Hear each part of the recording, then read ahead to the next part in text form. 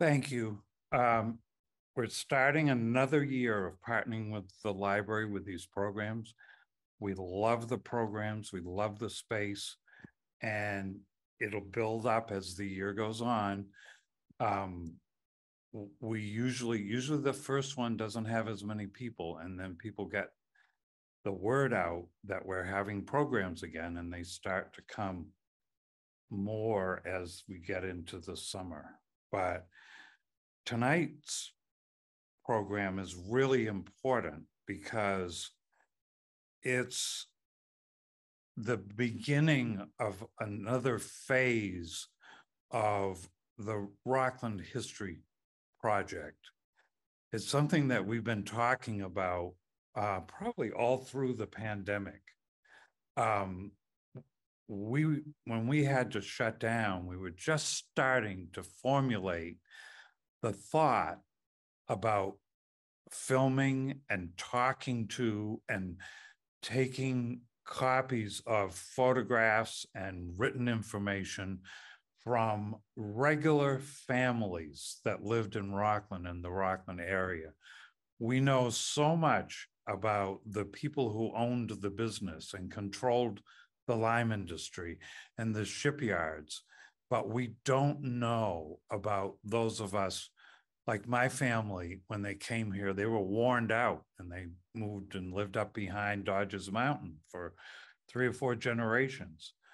And there are interesting stories from every family that lived here. So we're going to publicize, we're going to go forward with talking to regular Rockland people.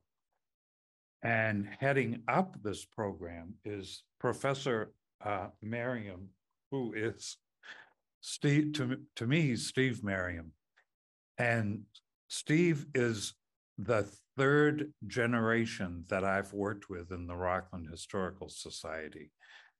His grandmother was our first secretary.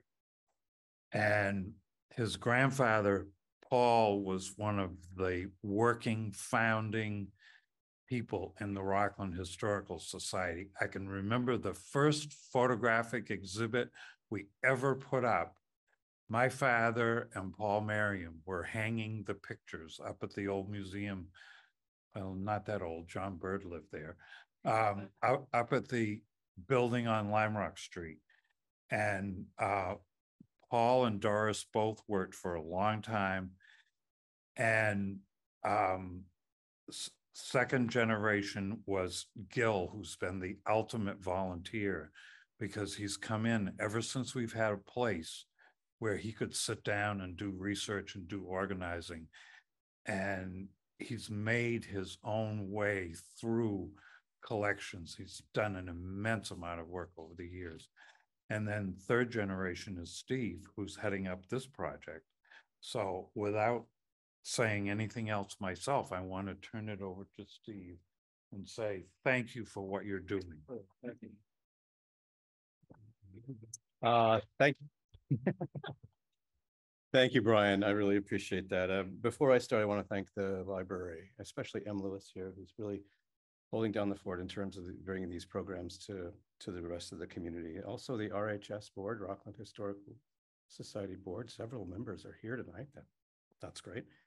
And volunteers, especially the volunteers who have uh, worked with me on this program. And you'll get a chance to get to know them a little bit in a minute, but really want to thank uh, that. And finally, our curator, Ann Morris, who was really essential in getting this off the ground with me um, about a year and a half, two years ago. This is a long project, and she's worked mightily uh, for to bring it to life, to realize. Finally, a huge and important thank you to the estate of Warren Bodine, who was very generously donated money to this program. Um, and uh, we will, uh, it really, we could not have done this without uh, the estate. So uh, really thank you for, for that. Uh, in the next 30 minutes or so, I'm going to talk a little bit about this program. Um, can you hear me okay? You can hear you? Okay. Okay, I'll, how about that? Do I sound like God now? I'll, I'll see if I can remember to, to, to, uh, to speak a little louder. Uh, I'm going to give an overview to start out with this program, how it began. Um, it actually began several years ago by um, at least one of the people in this room, and I'll talk a little bit about that. Then I'll then I'll talk about where we're going with it, where we are now, and where we're going to, with it, uh, and then really drive home the nuts and bolts of the program. You'll get a good sense of what we're going to be doing here coming up in the next few years, the whole purpose of this, um, and this is going out to especially to those on Zoom, is to really, really uh, make a very strong pitch that it's the Rockland Communities Program. It's not the Historical Societies program. This program is for the community, and it should be community run, community developed. We're here as facilitators. Um, we want to make sure that you leave at least with that idea. We'll have a question and answer period near the end. If you want to have questions, hold those if you don't. Um, don't mind. Um, so I'm going to start with a definition. Um, many of you have heard of oral history. Um, uh, oral history. Uh, the Texas Historical Commission, this is a great organization. Actually, their guide to creating oral histories is the best that we've ever seen. We've used a lot of research to develop the program. By far, that little pamphlet right there gave us so much more information that, that is that is important. Their definition of oral history is that it's a collection of recording of personal memoirs for historical documentation. So that's important. This is not something like StoryCorps. Do you know what StoryCorps is about? Where we or the moth, where where you people come on, or Humans of New York. Remember that book? This is not sort of like that, but it's not like that. These are stories that have historical relevance. And so, um, and we assume that there are two kinds of history. There's the history that many people associate with our society, and that's factual history, like my dad, Gil, going in Tuesdays and Thursdays and doing uh, research on a particular topic, whether that's a ship, whether that's the lime industry, whether that's the last resort house, the last chance house at the end of Mechanic Street. Many of you know what that is. I won't tell you, but he does historical re research very specific historical research that's secondary research, not primary research, secondary research.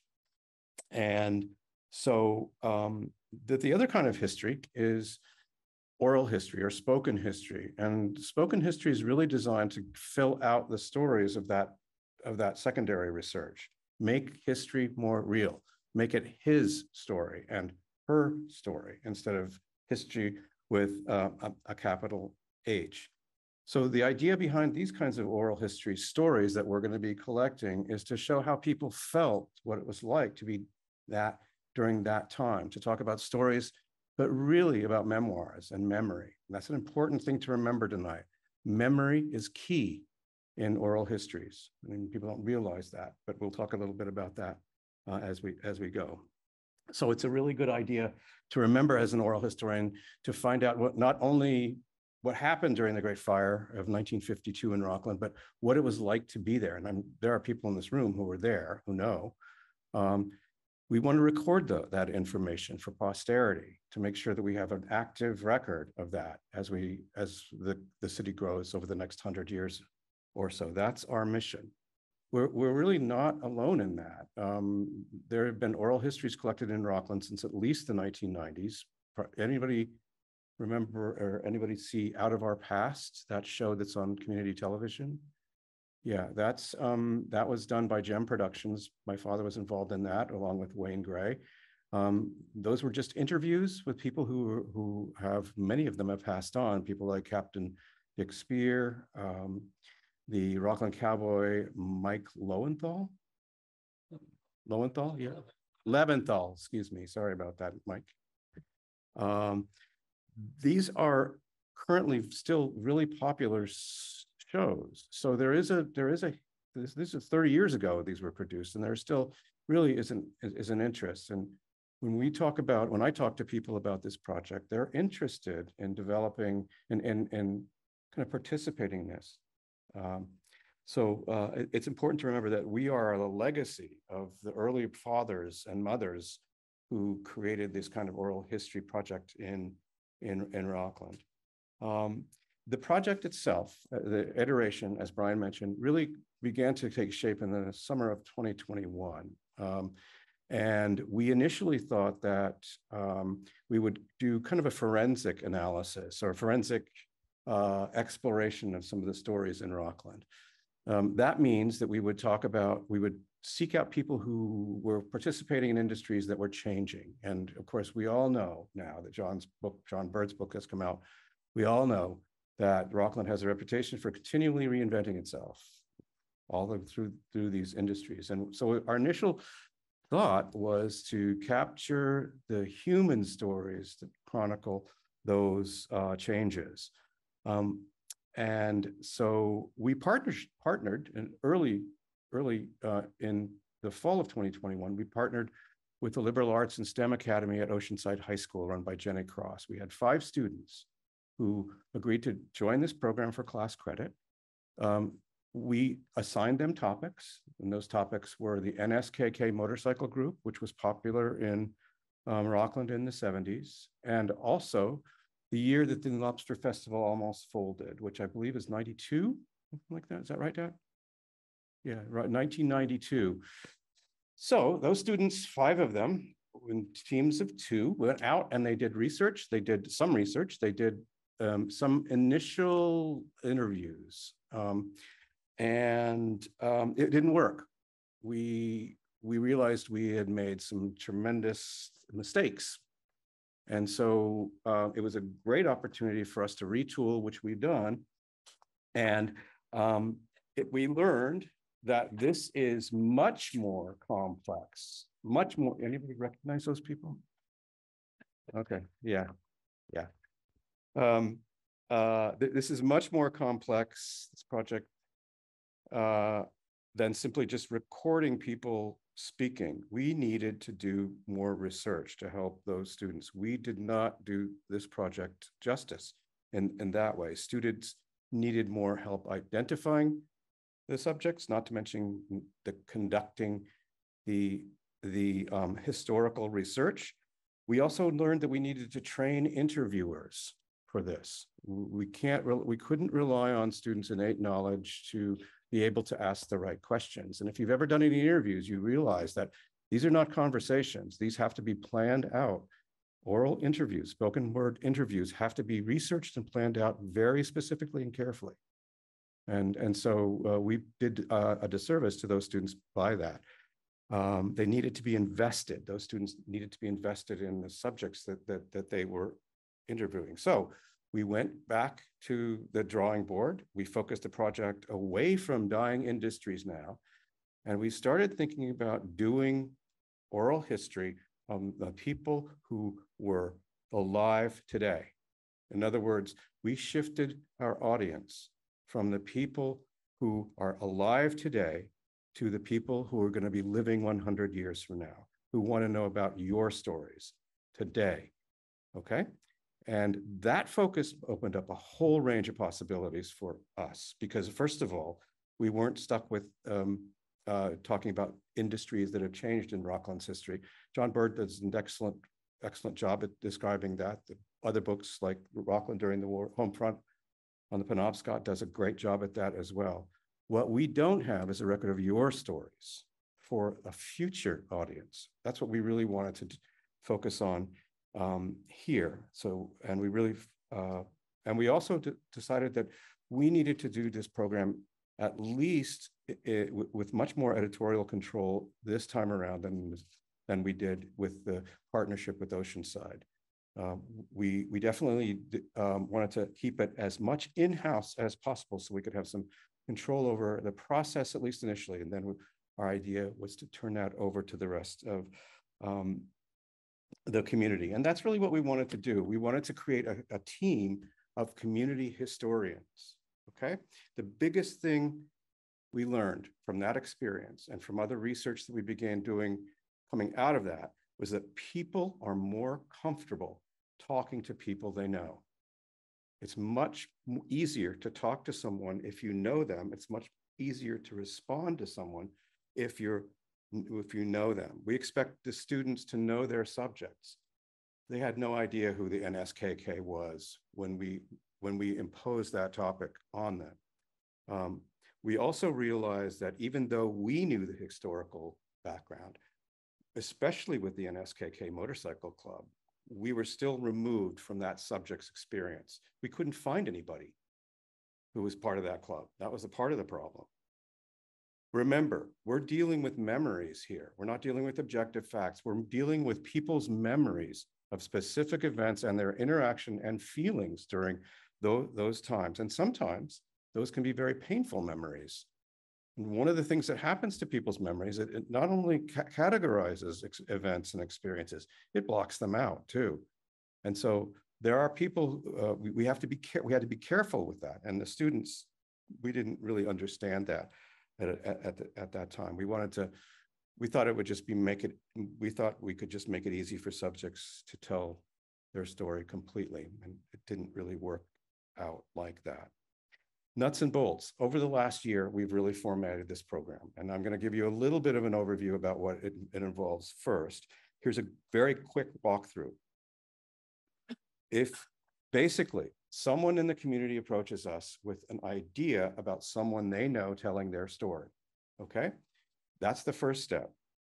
We sit down and talk with those two people, and we being the volunteers, me and maybe one of our advisory board group members, we sit down and talk with the, those people and we discuss how we can partner with them to bring their stories out. In other words, we're facilitators, we're not authors. We're training and facilitating the transmission of these, of these great, great stories. We also have to make sure at this early stage that everybody has a buy-in to the project. For example, if a, if a, if a young teenager is interested in uh, interviewing his aunt and the aunt is reticent, we'll, we're not going to get a good interview if that isn't overcome. Okay. We are also dealing with memories that fade.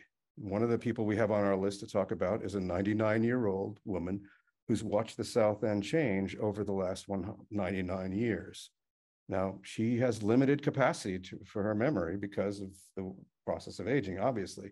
So we have to be careful on how we, we um, kind of approach that. And that initial stage is called vetting. So we work with the person to make sure that uh, the, the, the subject is actually uh, good. Remember that um, the, the story we're looking for has to have a kind of a minimum threshold of, of historical relevance. Uh, we use a group of advisors like David Grima and Eva Murray to, to, to vet this, to see if those stories are relevant um, and if there's enough information to yield. We use the board to yield a good interview. We use the board and the volunteers who have an intimate knowledge of our collection to see if there is information that we can add to that interview.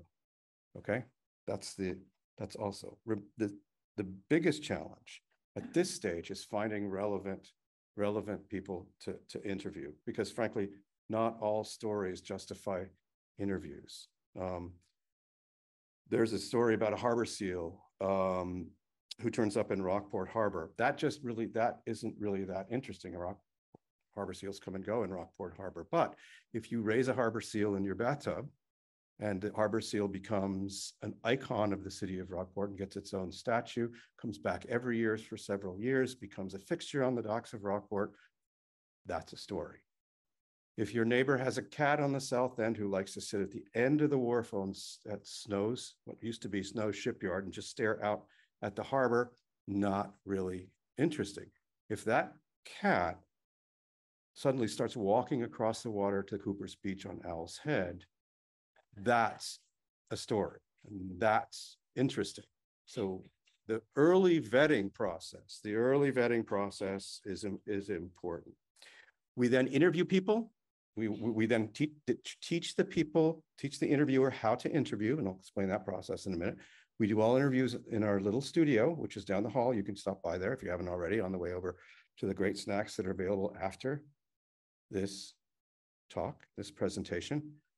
And we then edit that video and audio. We then um, do post-production on that. And you're, the, everybody's in more than welcome to to uh, the interview and the subject are part of that if they want to be. And then our goal is to, uh, what we will do is we will post those interviews three places. One, the website that we were developing for the Rockland Historical Society. Two, Maine State Archives. They want a record of these videos. Um, they will be archived at the Maine State Archives in Augusta. And the subject and the interviewer will get a copy, of course, as well. Now, these are owned, these interviews are owned and copyrighted by the Rockland Historical Society, but they're free. They'll be shown hopefully on television at some point, we'll see. But it's a great keepsake and it's a good record of your partnership, if you're doing this, with us and with the, the people who you're honoring by, by, by, by interviewing, okay? Um, our, our goal, our default for all of this was to try to combine video and audio. We didn't want to just use audio. Um, there's so much detail that you can catch in a person's face when you're talking to them. Um, they should show emotions, especially. There's also a lot of opportunity to, to understand the person if they're out of a location, like the studio over there. So one of our goals, as I'll talk about, is to go, go live, to go not live, but go offsite and interview people in their own homes, because, and we are have we we will become very good at identifying great backgrounds to, to tell maybe a different story, maybe the same story that the subject is telling. You know, photobombing, the same principle. You look at what's behind the subject sometimes and get a lot more information about that. These are short also, no more than 15 minutes, preferably shorter than that.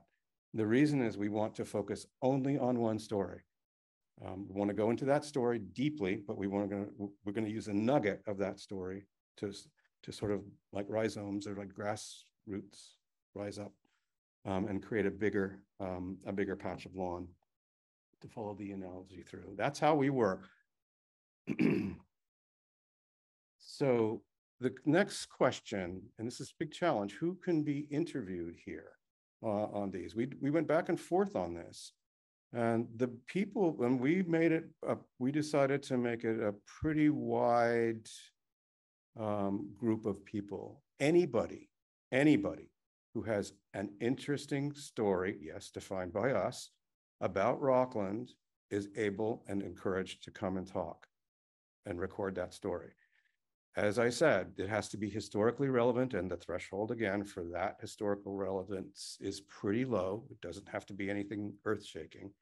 Um, if it's a moderately interesting story, like a cat walking across the cove, that's enough to be part of this uh, of, of, this program.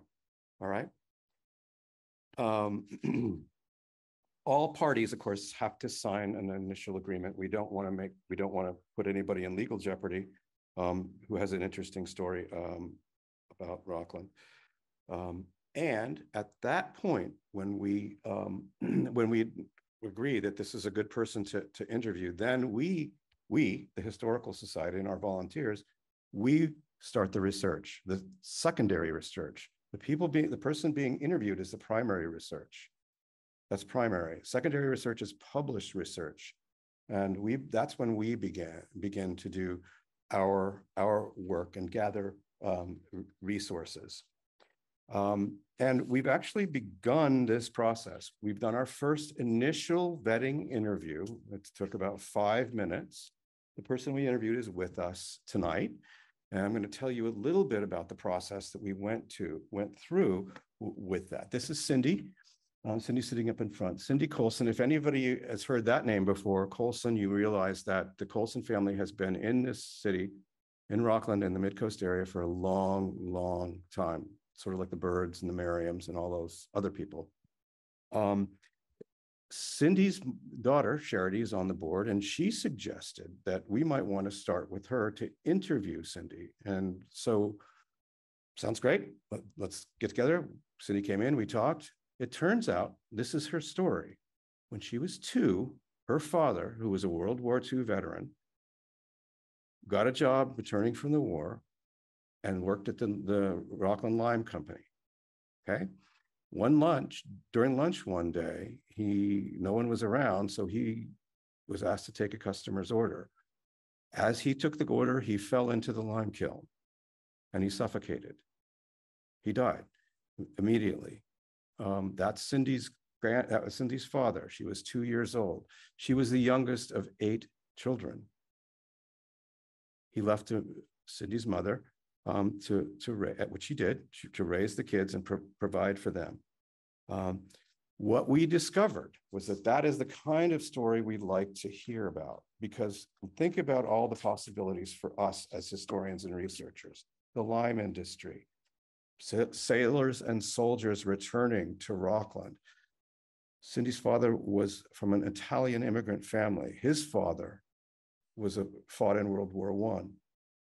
Okay.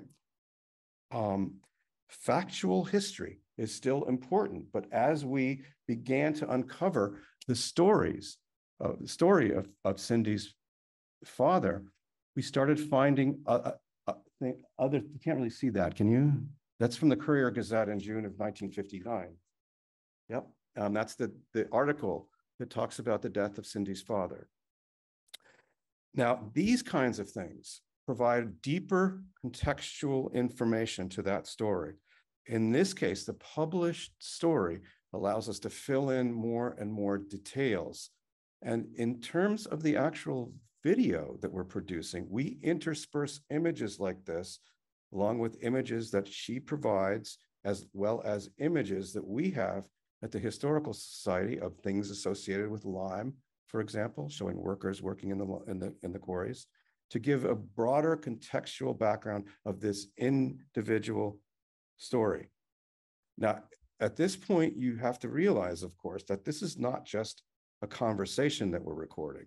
It takes a lot of research, a lot of spade work to really come and develop this interesting story for the future generations uh, in, in Rockland. And that's our job. Our job is to facilitate Cindy and her daughter developing this story and, and really um, um, and, and really bringing it to light in a way that is interesting beyond secondary resources.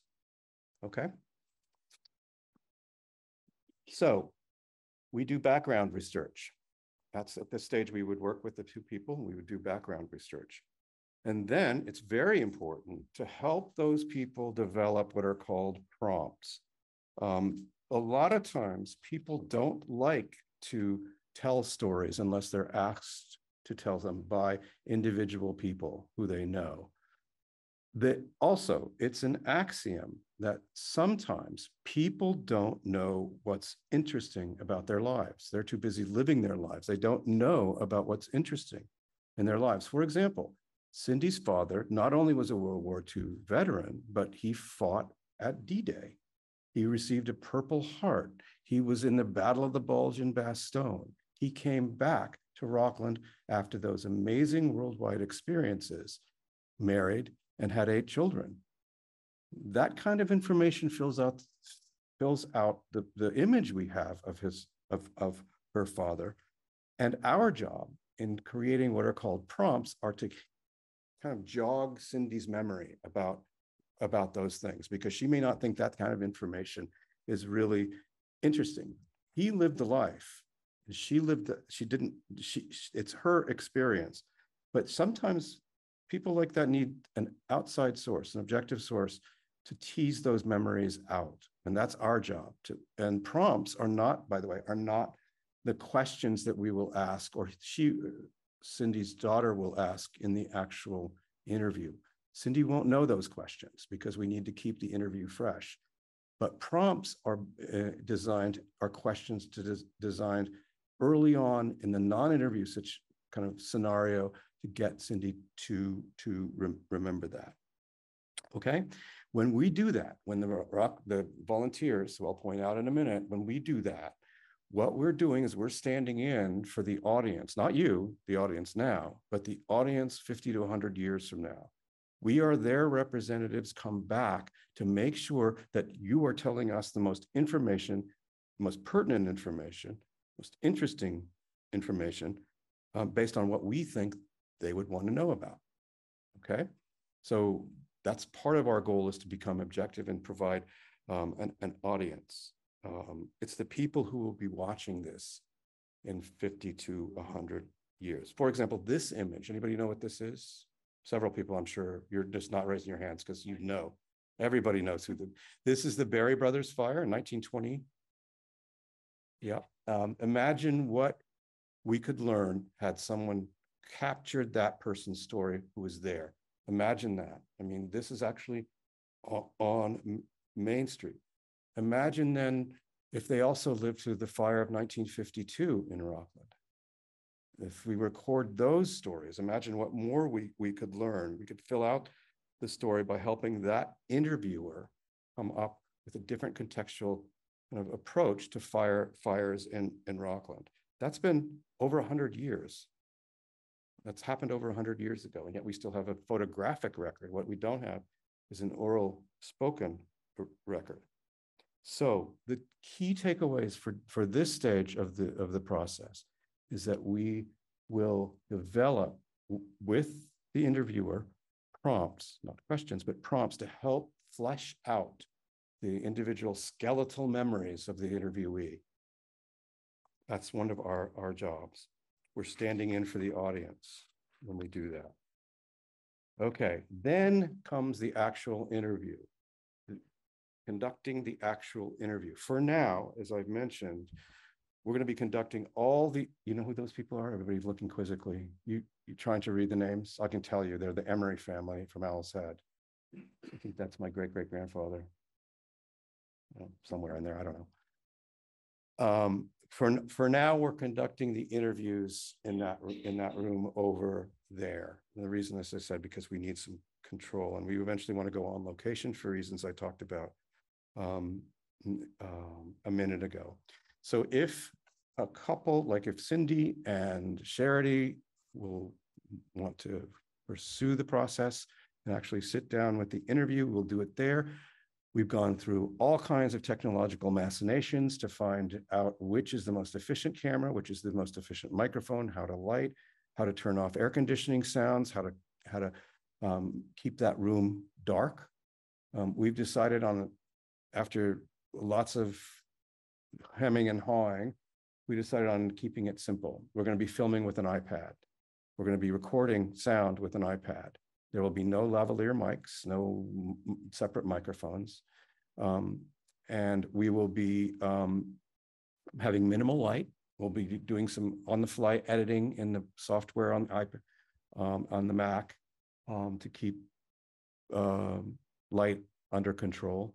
Um, and then that's it. By the time of the interview, everybody will be familiar with, with each other. Everybody will be familiar with each other. You'll know the process. It will be easy. You may not know the questions, but it- the process will be um, easy. We will be there. Our job will be to ma- manage the technology. Our job will not to be, at this point, be asking questions. That's not our job. That's the person who is inter, that's Charity's job. Okay? We're simply there to make sure everything goes smoothly. How long does this take? So the general rule of thumb um, is that it takes twenty minutes for every of develop, total development time per every minute of film. So if you have twenty minutes of film, final film, which is too long, you have four hundred minutes. What's twenty times twenty? Four thousand minutes, right? I was an English major. Four thousand minutes? Four hundred. Damn. So um, four hundred minutes, that's, that's a conservative estimate. It's more like an hour per minute. And that includes everything from initial vetting interview to post-production. So um, but we want to budget two hours, one to two hours per session, because people will know um, the two, the interviewee and the subject, interviewer and the subject will be pretty much um, familiar with each other, um, uh, with each other at that time. Key takeaway here, we'll be there for you if you decide to do this. Our job is to make sure that comes off easy. You, as an interviewee and as a subject, interviewer, and a subject will be very prepared for this interview. Won't be off the cuff in any stretch, by any stretch of the imagination. Then, know where that is? Know What that image is? Fifty-two fire, yep. Then we edit. And what, what that means is that then we, then we get together, usually that will be driven by us, since we have editing software or will have editing software. We cut down the raw editor, the, the raw interview into um, a- an interview that can be published or seen. It's, for example, many times interviewers and interviewees get lost in the interview. An interviewer may, an interviewee or subject may say something they wish to retract. They may flub up. All that gets erased in the in the editing process. So editing basically is cutting out uh, cutting out things. Um, this is not going to be a live interview where you don't get a chance to re reclaim what you say. We will. This will be totally uh, recorded, and we use software to do that. And we imagine you working with us along that editorial um, um, process. But editing isn't only taking stuff away, it's adding as well. So at the editing process, then we dump your photographs into, we cut away from your, the, the vision, you know, the image of you speaking to photographs that you provide or that we provide. So there will be a montage of photographs and we'll cut back and forth between you speaking and those photographs, maybe some silent video, all of that. We'll be adding that information that we've done with through the research process that I described earlier at the at that time, at the edit editing time. Um, this will help again the audience see the person behind the um, behind the person actually spe speaking, seeing images, photographs of that. And by the way, we keep all extra footage that ends up that we don't use. You get a you get a copy of that because that too is part of histor- uh, the historical record. It's not just what's produced, it's how it's produced. That's one of the great things about contextual history like this. Okay. Winding down here. Post-production. I couldn't figure out where this whale was. Put at Mechanic Street? You were? How'd it smell? Okay, so we need to know that, right? That would be the question that.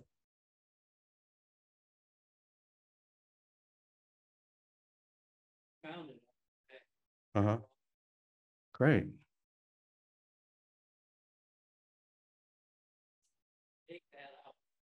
Right. Well, I, I was trying to figure it out. I thought it was there. You can't see it in the picture, but there's some ships out there. There you can see the breakwater. Yeah, naval vessels and breakwater. So at this stage, the raw footage is edited. It's almost ready to go. This is called the post-production stage. And this is the time that we become historians. For example, we have to create a transcript of these interviews. That's part of the historical record. We have to do that. These aren't just stories that are recorded. They have to have a written transcript. Um, so we, will do that and we'll, or we will help you do that as part of the, that's one of the things that you do in oral histories. We will also deliver the interview at this point to the two places that I mentioned before, which is the website and at the Maine state archives. Our, it's our responsibility to upload those. And we will develop, we'll give you a final copy at this stage too, if you want a copy for your family or at that point, you have become one of us. You are a local historian, and so you deserve that, that item. And of course, if you're doing this with us, you have as much input as you want to have at every stage along the way, from prompting to post-production. Um, this is your project, your, your project. Okay, wrap up. In five years, we would like this program, we would like to see this project turn into a program. In other words, it's a project now. We're not sure if it's going to make it. We'd like it to be its own living project, program project with its own inertia to keep going um, throughout the, the years. That means that you have to take it over at some point. The community has to be part of this. In fact, the community has to take over this process. Um, it ha- they have to, to, to own that it's true that we will only become, we'll, we are facilitators of that. Um, we would also, as I mentioned, in five years, we can imagine ourselves doing location filming. That's a short-term goal, so it'll probably be um, sooner than five years. We're working with some of our advisors to make that happen. Um, we're also exploring other distribution outlets for these. Um, for example, it's very easy during the editing process to create 30 second trailers of these interviews. And one of the things we hope to do is offer them to the Strand to play before, before films. um, as, as, um, kind of outreach efforts on the part of the Historical Society to get more people involved in our society and, and in, um, local history. Um, and also broadcast them on community television if possible. I mean, out of our past is still being broadcast thirty, over thirty years. Uh, so there is an interest in, in, in local history. Um, anybody know where this is from? Don't tell them, Dad. Okay. Don't. I said, don't tell them. Okay. Yep. It's in front of the Strand, nineteen forty-two. Uh, it's a scrap drive. Um, we don't know who this person is, but you can tell a lot about this person by how he looks. Yeah, go ahead. Go ahead.